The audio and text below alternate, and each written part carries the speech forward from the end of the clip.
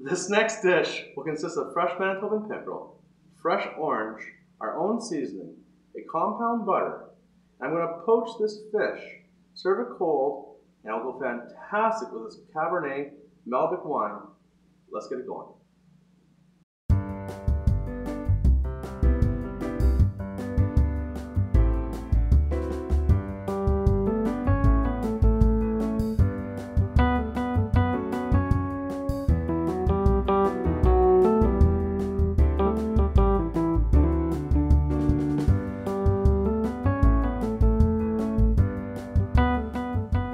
How easy and fast was that appetizer?